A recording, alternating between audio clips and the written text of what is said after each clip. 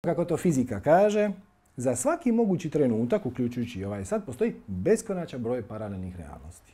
Svako od njih ima svoju frekvenciju.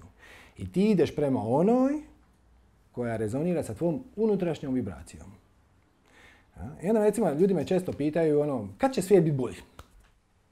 Kad će ovo naše društvo postati bolje? Točan odgovor nije kad se dogodi to, to, to, to, to. Točan odgovor je zapravo protupitanje. Zašto ti već nisi u paralelnoj realnosti u kojoj je zemlja već u zlatnom dobu? Dakle, za ovaj konkretan trenutak postoji beskonačan broj paralelnih. U, ne, u nekima od njih zemlja je devastirana već 100 godina nuklearnim ratom. U nekima od njih je već 50 godina zlatno doba. I sve je savršeno. Mi smo negdje u sredini.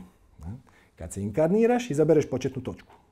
Ne izabereš onu najgoru moguću, jer mislim šta da se inkarniraš se u nuklearnu zimu. Mislim da ok, mislim to, to će mi pomoći za moj spiritualni razvoj kako? Mislim, samo ću umrijeti od radijacije, ništa.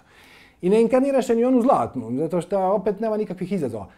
Inkarniraš se tamo gdje imaš najveću količinu koja je taman primjerena da možeš podnijeti izazove i da oni naprave optimalni razvoj za tebe.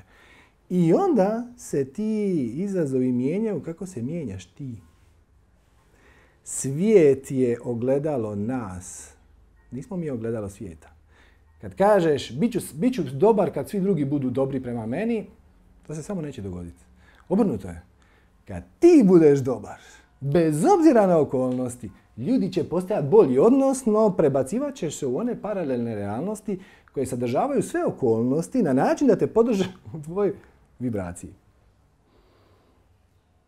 Je li ovo ima smisla? Ok, sramežljivo, ali dobro.